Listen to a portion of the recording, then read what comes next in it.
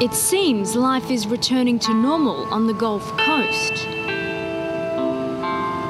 But appearances can be deceptive. Looks like has a little bit of oil in the sand that it's washing in. And until all the slick and all the dispersed oil is out of the Gulf, I wouldn't even consider swimming here.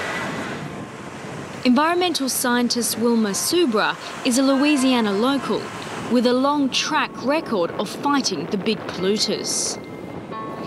Apart from the oil, she's concerned about what else might be in the water.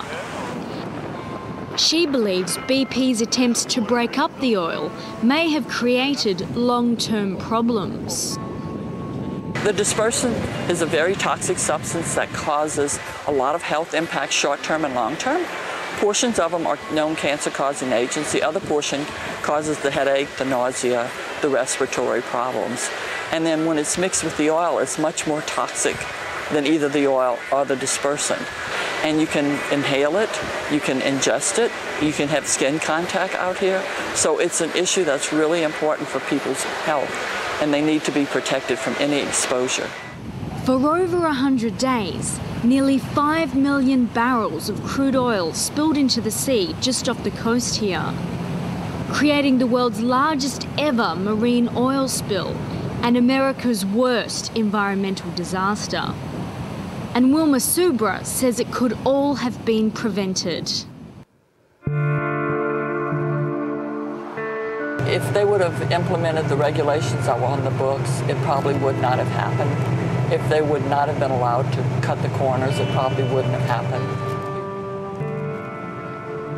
The regulations we had tried so hard to get on the books the enforcement of those regulations, all that was just dismissed by the catastrophic event that occurred on April the 20th.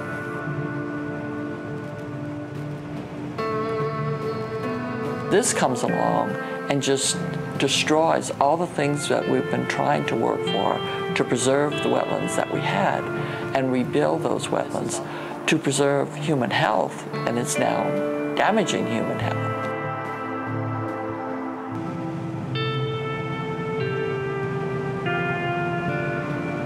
For the past three months, Wilma Subra has barely had time to sleep as she drives up and down the coast documenting hundreds of environmental and health complaints.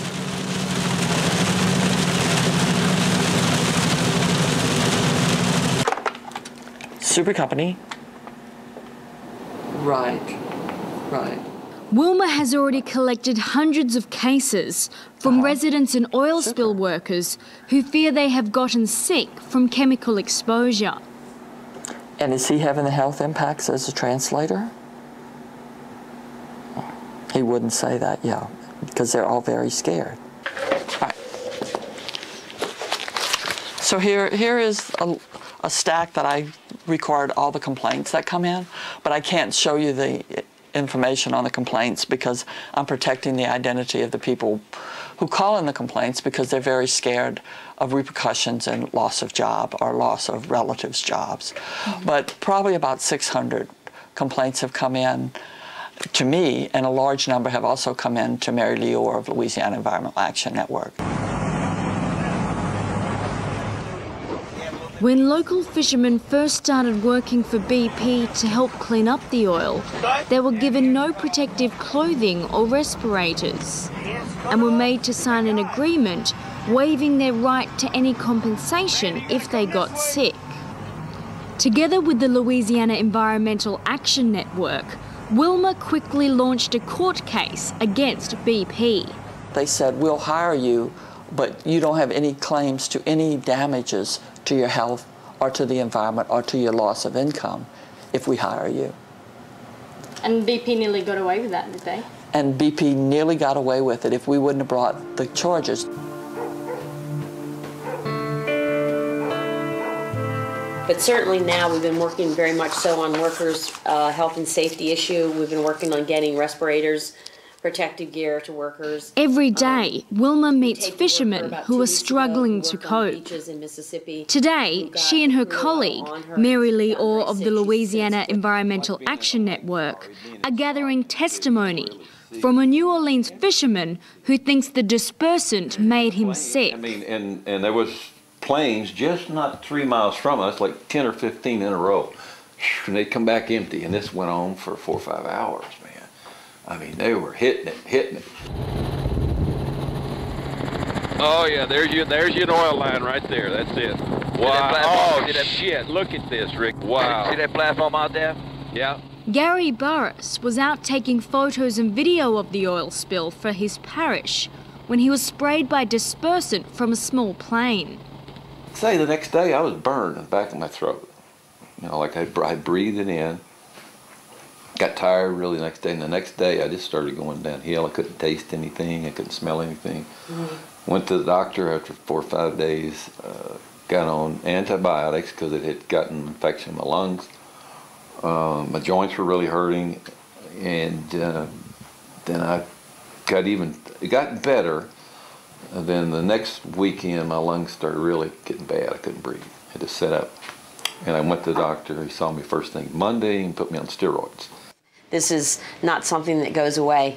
So we're really concerned about the legacy that this disaster will leave us. We've talked to the fishermen in Alaska. We know that the average lifespan, most of them were dead by 52, the folks who worked on the spill. The main dispersant BP used, Corexit 9500, is one of the more toxic dispersants on the market and is banned from use on oil spills in the UK. A total of 1.8 million gallons of dispersant have been used in the Gulf of Mexico with the Deepwater Horizon spill. And never before has this larger quantity been used in this area. The EPA, the Federal Environmental Protection Authority, requested BP use a less toxic dispersant because of the unknown long-term effects of its use. But BP refused, saying it was the only one available. In fact, BP is making the decisions, and the EPA, the Mineral Management Service, the Coast Guard, they do not take on BP and say, no, we think you should do it this way instead of the way you're proposing. And the fear is that if an agency overrides BP, the liability for that override will be with that agent. This 66 year old grandmother poses a serious threat to the powerful oil and gas interests that control her state. As a nationally acclaimed environmental scientist, Wilma has been involved in countless legal cases. A lot of the, the big battles dealt with oilfield waste in the early days, about waste being dumped in pits that weren't lined, contaminating groundwater, surface water, contaminating agricultural fields, and huge quantities of benzene, known human cancer causing agent, being released into the environment and having impacts on the health of the communities living near these sites. We had a cluster of neuroblastoma in children. We had a lot of cancers. We had a lot of uh, different things that you don't normally see in a community that size. There are two human populations that are experiencing the most exposure due to the BP crude oil spill. One. So when the BP oil spill happened in April, federal authorities knew who to turn to, and Wilma was chosen to give testimony to members of Congress. Now, are you saying that BP still is not providing any kind of uh, appropriate protective gear? They are not providing the respiratory protection, and that's where you get the inhalation of the toxic chemicals off the spill and any dispersants. And in fact, if the workers bring a respirator that we've provided them and others have provided them, they tell them they're going to fire them unless they put the respirator away. Over the years, Wilma's work has clearly upset the powers that be my office has been broken into a number of times. You know, I get threatening phone calls. Um, one individual who was proposing a nuclear radioactive norm site threatened to kill me, my family, and the local elected official and his family. She so, even had gunshots fired through her office window on one occasion. So I had bulletproof glass put in all the windows on the front. I had a security consultant come in and he said, move everything to the back of the office. That's why my computer's now in the back, so that you're, you're not so visible up front.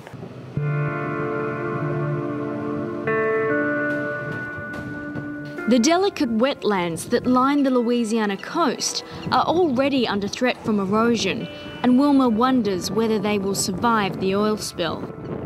Right now we lose a football field size of marsh every 30 minutes. And once we start killing off the vegetation with the oil, it's just going to increase incrementally.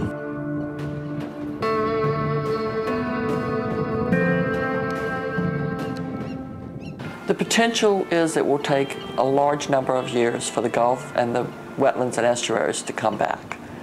And when you start looking at all of the wetlands, which are the nursery grounds for all the seafood in the Gulf, and how much oil has been deposited in the wetlands, it could be generations. Today, Wilma has a meeting with George Barisich, the president of the United Commercial Fishermen's Alliance in Louisiana. Way to go. Way to go. Yeah. Not unbelievable. This is your boat, George. This is the boat that my dad had built. She's as old as I am. My dad had this one launched the month I was born. 54 years old. Wow. Okay. And he owned it. George and his members are worried about the effects of the huge amounts of oil and dispersant in the Gulf. I understand this. I said five years ago, pre-Katrina, uh -huh. I had a full head of black hair.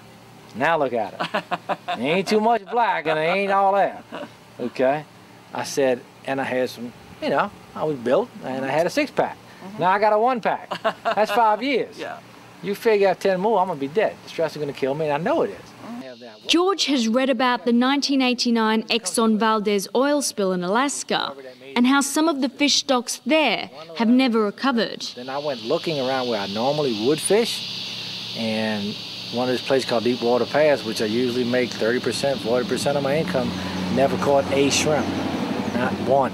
So whole blanket areas that are normally super productive didn't hold any product. So you may end up with two or three years of skipped uh, repopulation. So when you look at what went on in the Valdez is what we have to look forward to here. We have the contamination, we have the kill off of the organisms, and then we have when they start returning the bioaccumulation up the food chain. So it's an example of what we have to look forward to, and it's not a pretty picture. We ain't touched the lethal work uh, since April. Uh, are you now permitted to harvest oysters? No, sir. As far as we know, we ain't got nothing going on. While Wilma takes complaint after complaint from worried locals, this man, Ken Feinberg, has been sent by the Obama government to oversee a BP fund worth $20 billion to pay for damages arising out of the spill. So you in the same type of business well, as Mr. I'm a retailer. I'm a food manufacturer and retailer. I see.